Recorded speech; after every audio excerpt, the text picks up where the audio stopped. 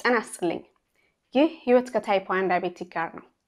እስከ ዛሬ በተለያዩ ቪዲዮዎች የ type one diabetic ምንድን ነው፣ type one diabetic ን እንዴት ነው የምንቆጣጠረው፣ እንዲሁም type one ን manage ለማድረግ የቴክኖሎጂ ጥግ ምን ያህል ደርሷል የሚሉትን በተለያዩ ቪዲዮዎች ላስቃኛችሁ ሞክሬያለሁኝ። ዛሬ type one ን ለማዳን የህክምና ጥበብ ምን ያህል መቃረቡንና ከዚህ በኋላ ከጣታችን ላይ በቀን አራት እና አምስት ጊዜ ደም በመውሰድ የ blood glucose ኣችንን check ማድረግ፣ በየቀኑ ኢንሱሊን መርፌን መወጋት እንዲሁም insulin pump፣ CGM የተባሉትን ቴክኖሎጂዎች በሙሉ ያስቀረ አዲስ የህክምና ግኝት diabetic ን በማዳን ሰውነታችን በራሱ መንገድ ኢንሱሊንን እንዲያመነጭ ለማድረግ ትልቅ ተስፋ ተጥሎበታል። ይህ እንዴት ሊሆን ይችላል? ሳራ ወይንም ዛህራ ነኝ። ህይወት ከ type one diabetic ጋር አብረን እንቆይ።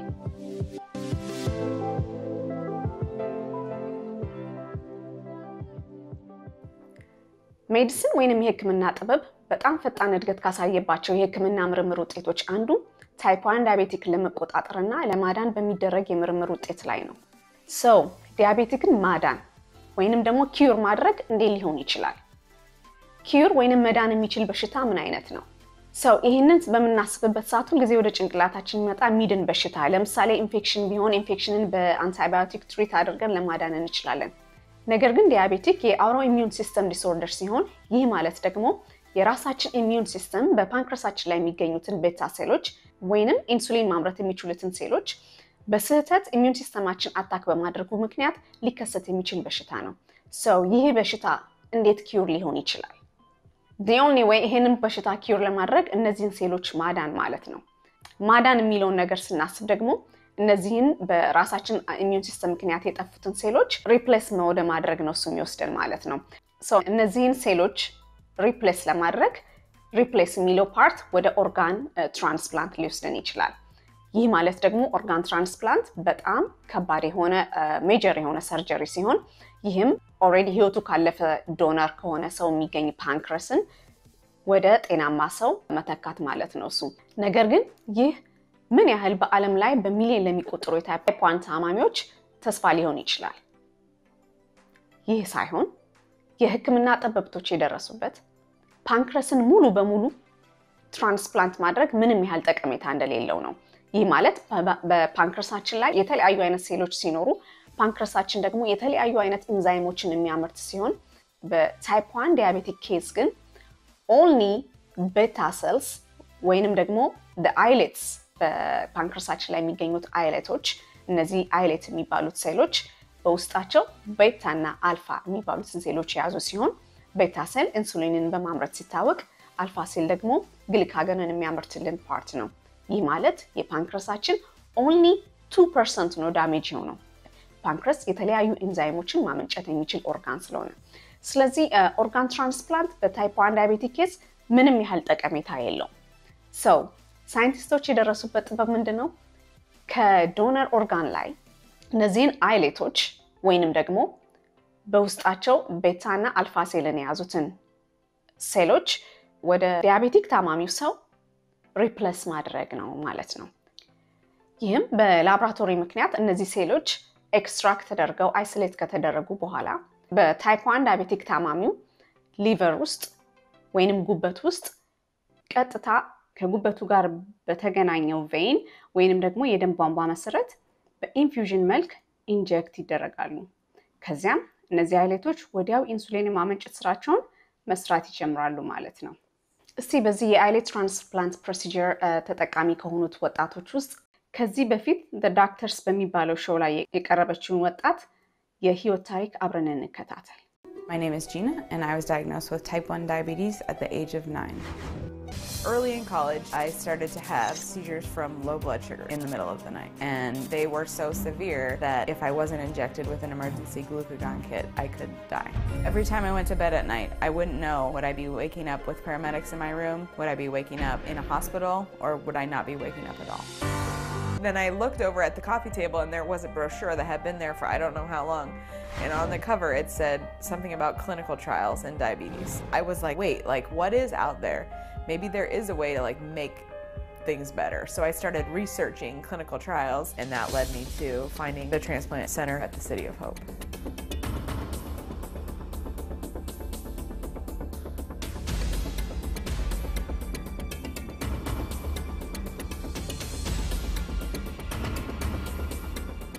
After participating in City of Hope's clinical trial for type 1 diabetes, Gina joins us. The best part, you have some pretty great news to share.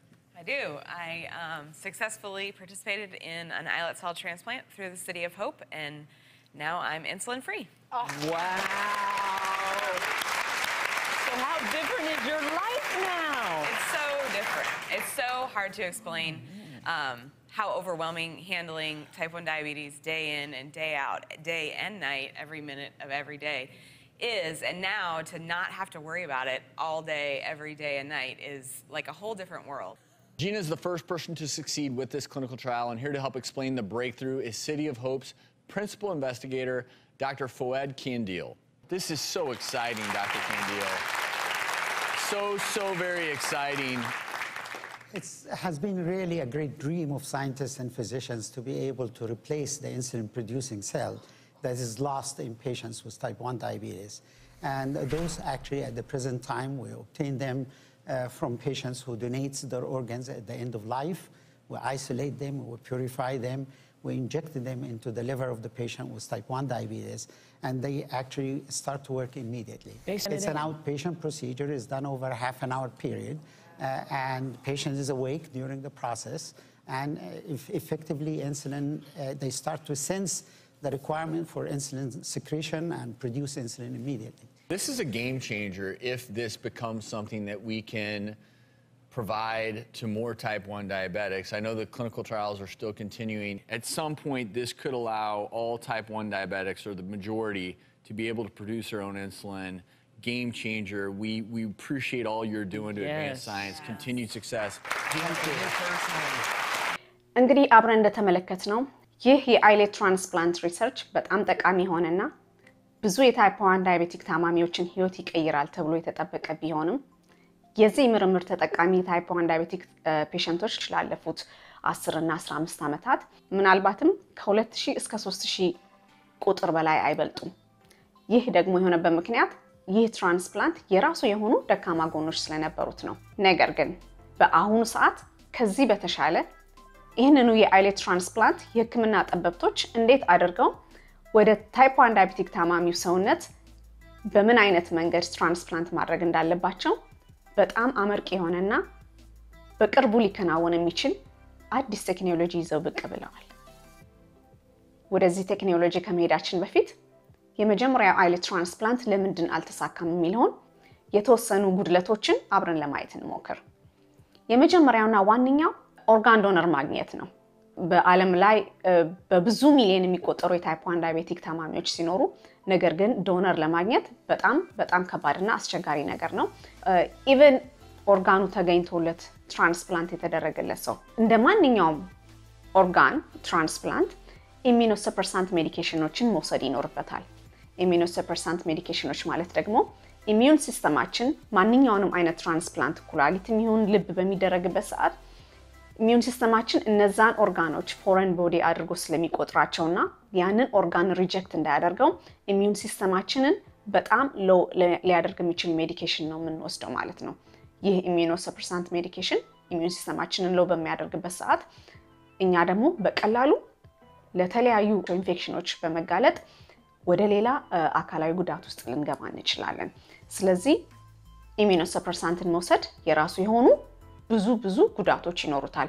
በመጀመሪያ even መድኃኒቱ ራሱ ለ lifetime የሚወሰድ ስለሆነ በጣም costly ነው የሚሆነው። even afford ብናደርገውም እንኳን መድኃኒቱ የራሱ side effect ኦች አሉት። ለደም ብዛት፣ constant ለሆነ ራስ ምታት በየቀኑ ሊኖረን ይችላል። ለዛ ያጋልጠናል። እንዲሁም ደግሞ ለካንሰር ሁሉ ልንጋለጥ እንችላለን። ስለዚህ የ immunosuppressant medication ብዙ advise አይደረግም። በተጨማሪም ደግሞ ይህንን islet transplant ያደረጉ የ type 1 diabetic ታማሚዎች ላለፉት 10 እና 15 ዓመታት ይህ transplant ለ lifetime አልጠቀማቸውም። የተወሰኑ ሰዎች ከሶስት ዓመት በላይ እንዲሁም ከአምስት ዓመት በላይ ይጠቀማቸዋሉ። በጣም ጥቂቶቹን ደግሞ ከአስር ዓመት በላይ ይህን transplant ከኢንሱሊን free አድርጎ ጤናማ ህይወትን እንዲመሩ አድርጓቸዋል። በእነዚህ ደካማ ጎኖቹ ምክንያት የብዙ type 1 diabetic ታማሚዎችን ሊታደግ አልቻለም። ይህንን ካልን አዲሱ የ islet transplant method ምን አይነት ነው የሚለውን ደግሞ አብረን እንይ so ምናልባትም በቅርብ ዓመታት ውስጥ type one ን ታሪክ ሊያደርግ ይችላል የሚባለው የአዲሱ islet transplant system islet ኦቹን የምናገኘው ከ stem cell ሲሆን የ stem cell ኦች ደግሞ ወደ ማንኛውም አይነት የሰውነታችን cell ኦች transfer የመሆን capacity ያላቸው ሴሎች ሲሆኑ እነዚህን ሴሎች ለብዙ ሺህ patient ኦች በበቂ ሁኔታ ለማዳረስ ይቻላል። so እነዚህን stem cell ኦች ወደ islet cells transfer በማድረግ እንደ membrane ሆኖ የተሰራ protective የሆነ case produce በማድረግ እነዚህን ሴሎች በዛ protective case ውስጥ trap በማድረግ በ type one diabetic patient ውስጥ በአነስተኛ procedure patient ኡ ቆዳ ስር implant በማድረግ ሊከናወን የሚችል የ islet transplant ቴክኖሎጂ ነው። so ይህ membrane ምንድን ነው? አንደኛ ነገር implant ከተደረገለት ሰው በቀላሉ ከሰውነቱ ጋር attach በመሆን በተለያዩ blood vessel ኦች በቂ nutrition ለ islet cell ኦቹ እንዲዳረስ ሲደረግ እነዚህ islet cell ኦች እንዲሁም ሰውነታችን ስኳር በሚበዛበት ጊዜ ያንን ስኳር ደግሞ detect በማድረግ ኢንሱሊንን release ያደርጋሉ። release በሚያደርጉበት ሰዓት cover በሚያደርገው membrane ውስጥ አልፎ ወደ ሰውነታችን እንዲሄድ ማድረግ ሲችል፣ ነገር ግን በዋነኝነት ይህ membrane የሚሰራው እነዚህን islet ኦች የሰውነታችን immune system detect እንዳያረጋቸውና destroy እንዳያደርጋቸው ይህ cell membrane እንደ protective coverage ሆኖ የተሰራ ነው ማለት ነው። so በጣም አነስተኛ የሆነች device ናት። በጣም flexible እና ቀላል ናት። ለተጠቃሚው ሰውነት ውስጥ under the skin በጣም minor በሆነ procedure በቆዳ ስር ነው እሱ implant የምትደረገው። እንግዲህ እንደተባለው ይህ ቴክኖሎጂ already right now research ኡ አልቆ በ clinical trial ላይ ነው ያለው። እስካሁን በተደረጉት በ animal models ደግሞ በጣም በቂና አመርቂ የሆነ ውጤቶችን አሳይተዋል። እንዲሁም በሰው ሞዴሎች ላይ እየተደረገ ያለው research እየተካሄደ ነው ያለው። almost ይህ research ከተጀመረ ten years ን አሳልፏል። ላለፉት አምስት ዓመታት አካባቢ clinical trial ላይ ነው ያለው። so coming three or five years በሚሊየን የሚቆጠሩ type one diabetic ኦች ለዚህ research ተጠቃሚ በመሆን ይህ research type one ን ታሪክ ያደርገዋል የሚል ብዙ ተስፋ አለ። so እንግዲህ እንደኔና እንደናንተ ላሉ የ type one diabetic ቤተሰቦች በበለጠ ደግሞ ለ type one diabetic ታማሚው ትልቅ የሆነ ተስፋ ነው። ኢንሱሊን free ሆኖ መኖርን፣ የ blood glucose ን በየቀኑ manage ማድረግን የሚያስቀር ትልቅ ተስፋ ነው ተብሎ ነው የሚታሰበው። so እንግዲህ ፈጣሪ ይርዳን። almost ተቃርበናል። እንግዲህ ዛሬ በ type one diabetic research ላይ የነበረኝን መልካም ዜና ወደ እናንተ ይዤ ቀርቤያለሁኝ። ይህንን ፕሮግራም ከወደዳችሁት share፣ like እና subscribe ማድረግን አትተዉ። በሚቀጥለው በሌላ ቪዲዮ ደግሞ እስክንገናኝ ቸር እንሰንብት እላለሁ። አመሰግናለሁ።